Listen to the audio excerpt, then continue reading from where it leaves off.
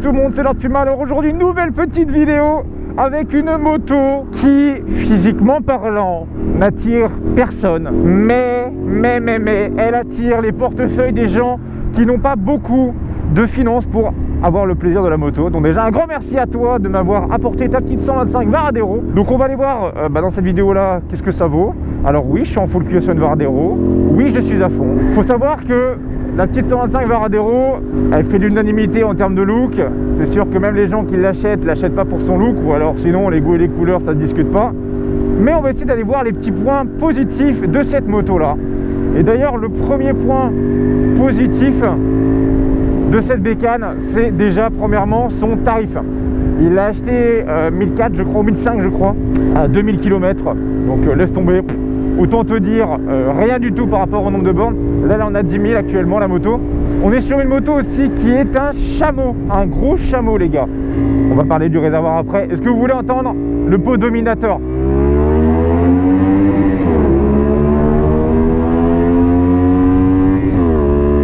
Ça chante Ça chante C'est déjà un bon point, ça chante Alors, la petite 125 Varadero, on est sur un bicylindre qui n'est pas dingo non plus.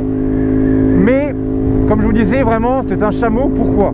Parce qu'en fait, tout simplement, vous avez un réservoir de 17 litres 8, ce qui lui confère une autonomie, accrochez-vous, de 400 km. Donc, ce qui est quand même pas trop dégueulasse, on va dire. Autre bon point aussi de cette moto-là, on est sur du 147 kg tout plein fait. Donc, même si la moto, extérieurement parlant, fait un peu gros, un peu massif, on va dire, pour une 125, et ben je dois vous avouer que la légèreté est présente. Mais il m'a juste dit, par contre, fais gaffe parce que les pneus d'origine sont quand même vraiment pourris. Et nous allons essayer un petit peu le freinage. Ok, je suis à fond. Allez, la reprise en deux. Après, l'avantage de ce type de moto là, c'est que vous avez le temps de voir le paysage. C'est toujours un bon point. Alors, je vais pas demandé, tiens d'ailleurs, c'est quoi la. Il m'a dit, je crois que la VMAX, je crois, c'est 130 ou 140. C'est pas mal quand même pour une 125. Bon, l'espèce de carénage devant ne sert absolument à rien, je vous le dis tout de suite. Oh Oui Regardez le son un peu? Pas mal, le petit dominator. Bon, allez.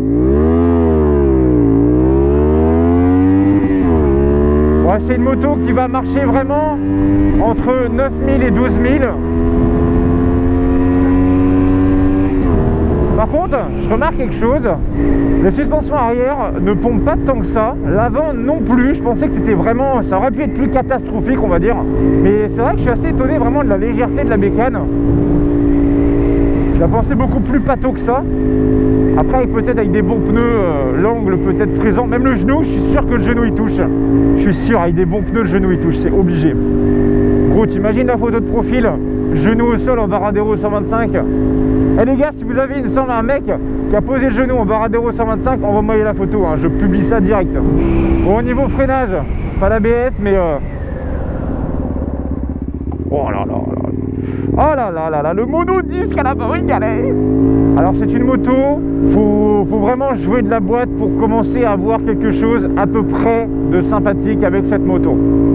Mais faire attention aussi parce que c'est une moto qui manque quand même de puissance. Elle a 15 chevaux, mais vraiment le monocylindre, le mono, pardon, le bicylindre, il est quand même pas ouf ouf. Donc faites attention quand vous faites du duo. Mais le bon point du duo par contre c'est qu'à l'arrière vous avez une belle grosse selle. Donc ça c'est cool, ça c'est pas mal.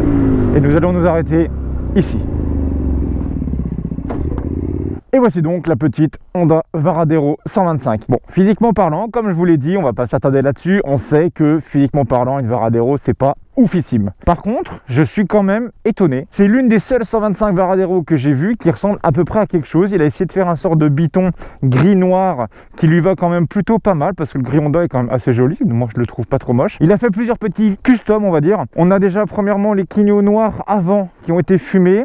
Petite bulle noire aussi fumée. À l'arrière, au niveau de la coque arrière, pareil en noir. Les écritures des pneus ont été eux aussi, bien entendu, écrits en blanc. Voilà, physiquement parlant, c'est pas oufissime. Même la 1000 Varadero est pas non plus oufissime en termes de look. On a un petit pot Dominator qui doit faire la taille d'une conserve d'aussi, mais il chante vraiment bien. Ça va, franchement, c'est pas, c'est pas dégueulasse. Cette bécane là, en fait, vraiment que je lui confère plus comme utilité. C'est vraiment plus pour un mec qui veut une petite 125 pas chère pour se faire la main, pour prendre du plaisir à rouler en moto, à commencer à connaître un petit peu les sensations de prendre les courbes. L'accélération, c'est clair qu'en 125, euh, voilà, faut, pas chercher euh, midi à 14h, il y en a pas. Mais par contre, c'est une moto pour les petits budgets. Vous êtes beaucoup à me demander, Puma, ouais, tu essaies souvent des, des, 125 qui coûtent 4500, 5000, 5500 euros en neuf. Bon, je peux pas mettre forcément autant dans une 125. Est-ce que tu peux essayer des motos petit budget Et eh ben voilà, j'ai réussi à trouver cette petite moto là. Donc oui, c'est sûr que qui dit petit budget dit forcément bah, des points faibles qui sont présents, mais on va les énumérer au fur et à mesure. Cette moto là, déjà, premièrement, vous avez pas de jauge à essence là-dessus. Je vais pas m'arrêter avec le, le réflexe, tout ça pour le compteur, parce que vraiment il est ultra basique. Vous avez la vitesse à gauche, le contour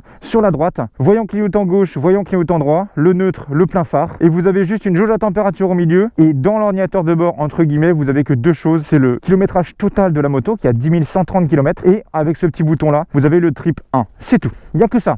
Il n'y a que ça sur le compteur. Autre chose, vous n'avez pas de jauge à essence sur cette moto là. Vous avez ni de témoin de réserve, vous avez juste en fait comme moi à l'époque avec mon CB500, vous avez le petit robinet d'essence à mettre en on-off. Là vous avez le starter manuel ici, donc quand il fait froid on tire, hop ça enrichit le mélange et puis ça permet vraiment de démarrer à froid. Pour les personnes qui vont demander qu'est-ce qui s'est passé ici, bah il y a une voiture qui lui a fait un joli bisou. Il a eu le petit réservoir poké, pas troué donc ça c'est bien.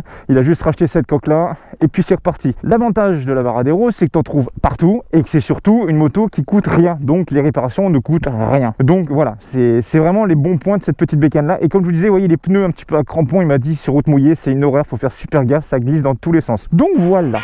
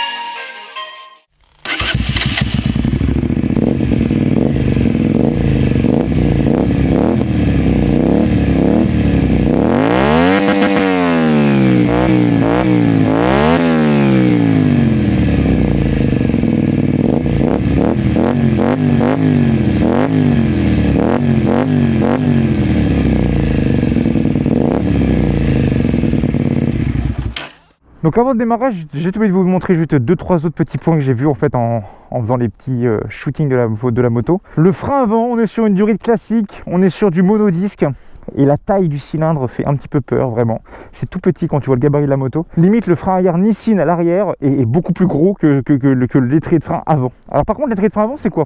Il n'est pas estampillé Nissin ou Brembo ou quoi que ce soit. Est-ce que c'est du Bayonda? Je n'en sais rien. Sinon le porte-bagages à l'arrière je crois est d'origine si je ne dis pas de bêtises. On peut y mettre un joli caisse, c'est sympa. Donc, on va vérifier l'angle de braquage. Alors par contre, c'est une moto qui a une garde au sol et surtout, on va dire pour vous, les petites personnes, franchement, eh, t'es assez bas. Tu peux mesurer la taille de David, que t'inquiète pas, nickel. Ça passe sans souci. Les personnes de petite taille peuvent y aller. Et vous remarquez que ça braque plutôt bien. Alors par contre, les rapports sont eux assez euh, longs, on va dire, ça va. Ah, comme toujours, on va, on va essayer de checker quand même ouais, bon, ouais. Pour moi, c'est un non. Hein. oh, ça se conduit tout seul. Hein.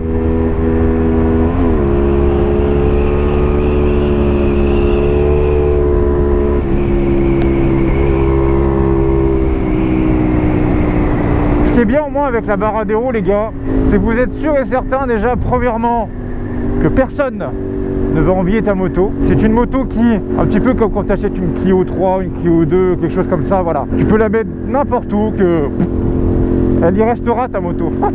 tu n'auras pas le dans ton dans en disant ah putain est-ce qu'on va me voler ma moto? Non non non je rigole les gars c'est l'humour. Après qu'est-ce que je remarque de beau sur cette petite 125 c'est clair et net que si vous voulez avoir quelque chose il faut aller au-dessus de 9000 faut tout le temps tout le temps tout le temps jouer de la boîte. Ah je vais euh, peut-être doubler un concurrent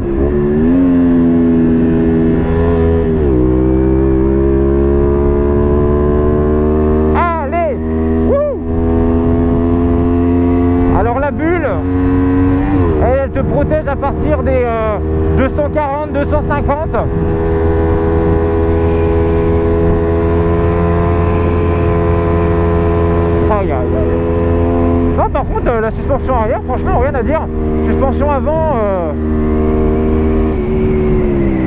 ça pompe un peu dans les freinages un peu secs, mais euh, bon, le frein avant, par contre, faites vraiment attention.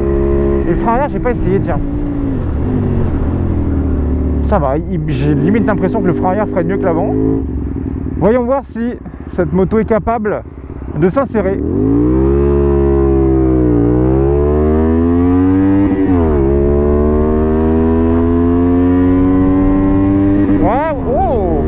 en deux. Ouais, clairement, je fais ça, on sent que les suspensions avant sont, euh, sont assez molles. pour les gros freinages, passe en arrière. Ouais, l'arrière se bloque très très vite. Hein. Oh là, la reprise en 4 fatale. En 3 pareil. Ah, en 2 c'est mieux. Non, franchement, voilà, elle a quand même des points positifs, cette petite moto. Alors certes, le look, c'est pas ça. Certes, le freinage avant, c'est pas trop ça certes, la suspension avant, c'est pas trop ça. Mais quand on est un jeune permis 125, qu'on n'a pas forcément beaucoup de finances, et ben voilà, vous avez des petites 125 comme ça qui permettent quand même bah, de se mouvoir en deux roues. On peut quand même l'équiper, vous pouvez mettre un porte-bagages derrière, un top caisse, vous pouvez aller en cours avec, vous pouvez aller au boulot avec, elle consomme que dalle. Donc c'est sûr qu'à l'heure actuelle, bah franchement, si vous n'êtes pas à la recherche de sensations et de chrono et à venir poser le genou dans tous les virages, une petite Varadero 125. Si vous voulez vous balader tranquillement, avec un petit de dominateur en plus, ça le fait. Et surtout, vous pouvez aussi vous balader bah, comme en trail, vous voyez comme ça, les deux pieds debout, comme au Marche Moto Madness. J'en ai bien là-haut. En plus, je suis sûr qu'avec des petits peu croyés. Oh, oh, oui, j'ai une idée. T'imagines, tu mets des pneus un peu plus crantés que ça, tu vas te balader dans la pampa, là, dans les, euh, dans les herbes folles.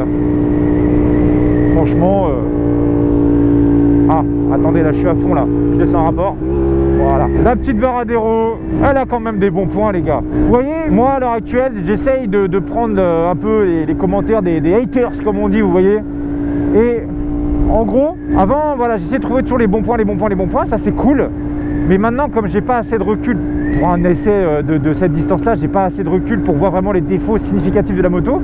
Donc maintenant, en fait, je demande au propriétaire quels sont les défauts de sa moto, comme s'il devait descendre sa moto, c'est quoi les défauts Je lui demande et euh, je vous répète comment dire bah, ce, que lui, il a trouvé moyen, vu qu'il a plus de recul que moi.